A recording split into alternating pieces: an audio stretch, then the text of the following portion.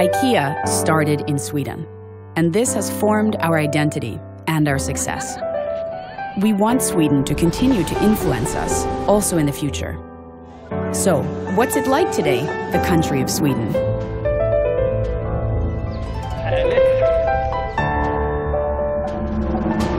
Sweden is as good and bad as any other country. This film will not give you a complete picture of the country.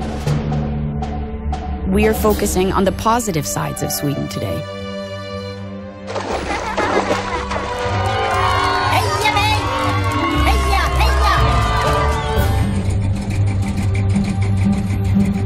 Now, we have asked a few experts to help us describe some Swedish characteristics.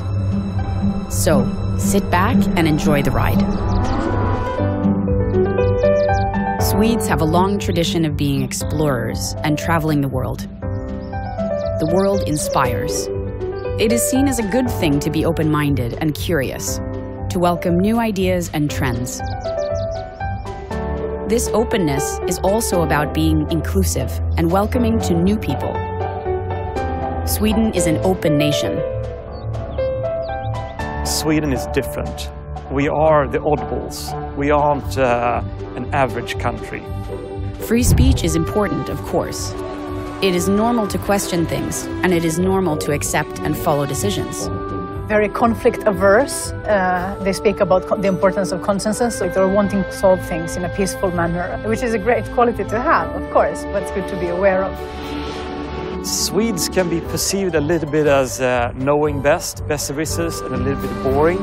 You want to express yourself, quite individualistic. We have a culture that values self-exploration the Swedish society is it's still very open because it's embracing a lot of immigrants, a lot of refugees, but they are very shy in their nature. They're really aware of trends and would like to be a part of them. That's something very Swedish today, trendiness. Well, they look alike.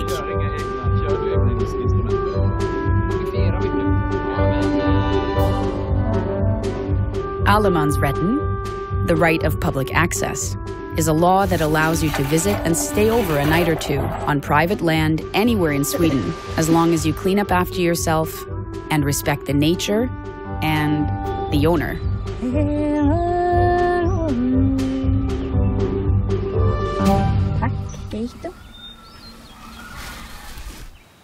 Caring is not just about being nice to people. Caring comes from a belief that you get what you give.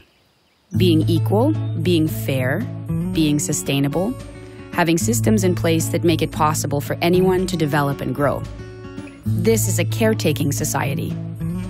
Together, they think, we are all part of something bigger than just ourselves. What shaped Sweden? I think women's liberation. The necessity of the women to enter the workforce because the economy was going so well, which made it necessary for the government to support universal childcare. Taxes in Sweden are among the highest in the world, but people accept this to have a high living standard. Leveling in society is important, and it should, for instance, be possible for anyone to get a university education, independent of who their parents are. The same goes for childcare. It should be available so that everyone can work. What's really on the rise is sustainability. That people are trying to buy sustainable, poison free food that people want to live in a way that's sound and healthy. Swedes are conscious of health and well being, and have been for hundreds of years. People of all ages exercise, which also leads to a larger sports engagement over time.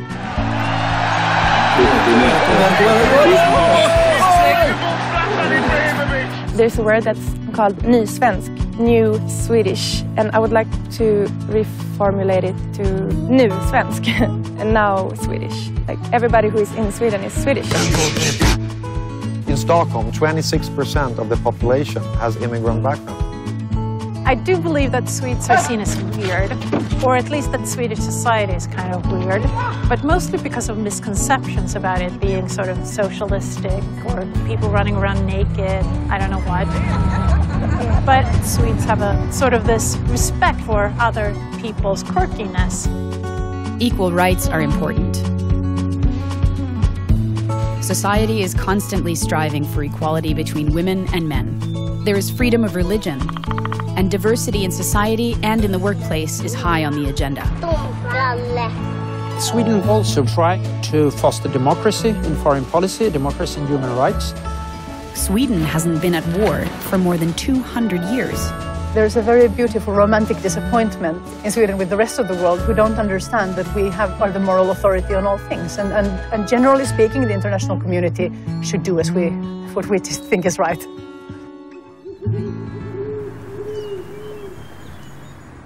People in Sweden are close to nature and they love their traditions. They are striving to meet reality, and honesty is always highly valued. Function and simplicity are important. Things need to work in an uncomplicated way. Being practical enough to do things yourself is seen as good. Sweden today is a modern country where living an authentic life is key.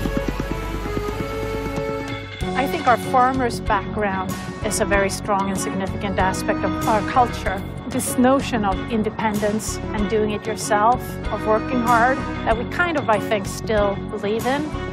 From being a very poor farming country, we have become a very modern urban society. Stayed out of the wars. That gave Sweden a sort of head start on peaceful industrialization.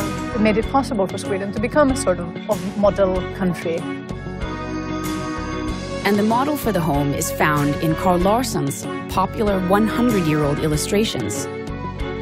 Swedes like to make their homes warm, light, and airy, with lots of lighting and light materials for the dark period of the year, and big windows for the light period.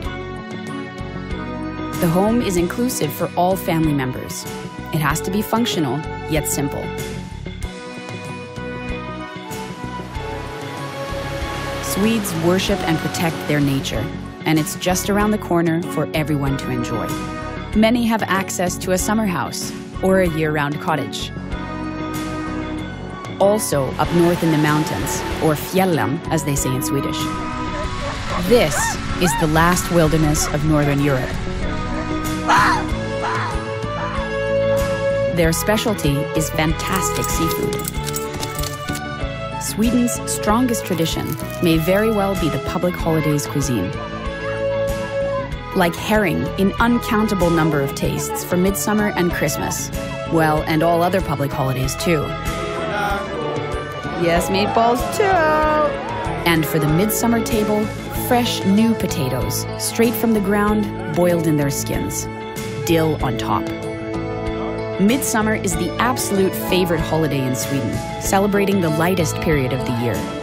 And in the darkest midwinter, Lucia is celebrated everywhere at home, in schools, in retirement homes, and in churches. New traditions are growing, like local Nobel Prize dinners, celebrated in homes and schools on December 10th, all over the country.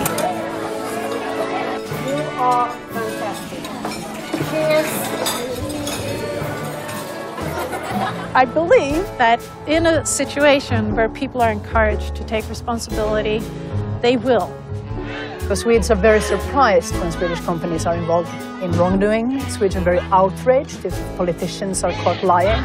The idea of a politician taking a bribe, I think, is unthinkable in Sweden. I also think that Swedes have a very good sense of bondförnuft, sort of common sense, and being able to bend rules without saying, but actually doing it if it makes the world better.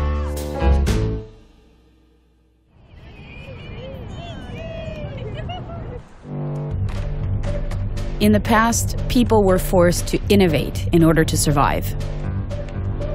A harsh climate has led to a constant desire for renewal and new ways of thinking. Creative, entrepreneurial ideas have resulted in endless innovations. This started long ago and continues in modern Sweden today. Sweden has the highest level of innovation per capita in the world, from the flat bottom Viking longboat to today's ultra modern aircraft systems and space technologies. Here are just a couple of examples of Swedish inventions and patents. Did you know? Already in the 18th century, Carl von Linné worked on the Systema Natura classification of animals and plants. the Anders Celsius thermometer, the propeller, the safety match, the adjustable spanner, the Dalén sun valve and lighthouse, the spherical ball bearing, the Tetra Pak fluid packaging, the pacemaker, the three-point safety belt, the rearward-facing baby seat, the artificial kidney, the Leksell Gamma knife for brain surgery, the Mecanum wheel, the ultrasound, Bluetooth technology, and the list goes on. The near invisible bicycle helmet, the Hövding, which you can't see until when it inflates. The inventor Petra Wadström amazed President Obama with Solvatten, which taps the power of the sun to make contaminated water drinkable. And of course, dynamite. Dynamite made it possible for its inventor Alfred Nobel to fund the Nobel Prize, supporting innovation and science around the world. They consume a lot of the, the new youth culture computers, uh, music, computer games. They're also interested in participating in producing those sorts of things. Some examples are Skype, Spotify, the Battlefield game, and Minecraft.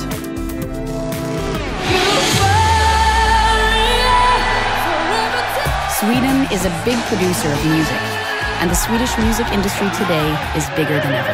Artists and producers.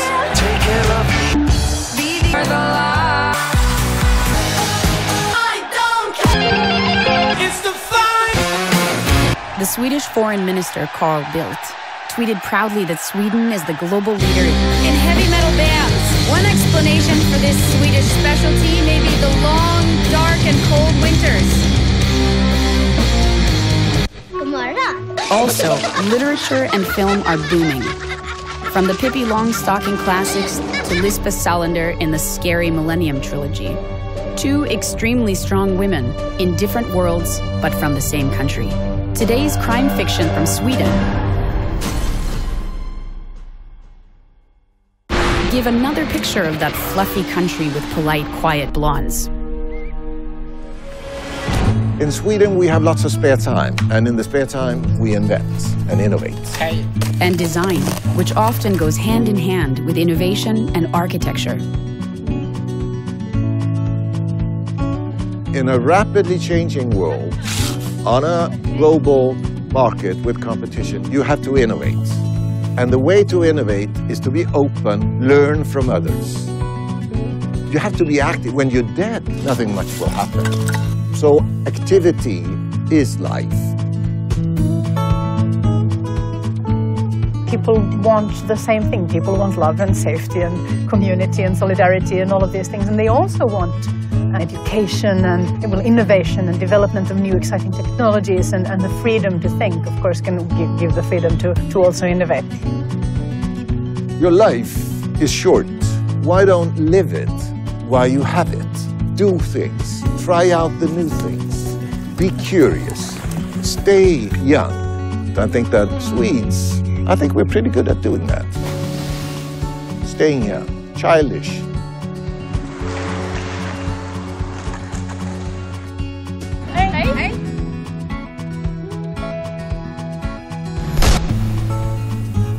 You don't need to be Swedish to understand Sweden. Vi ses!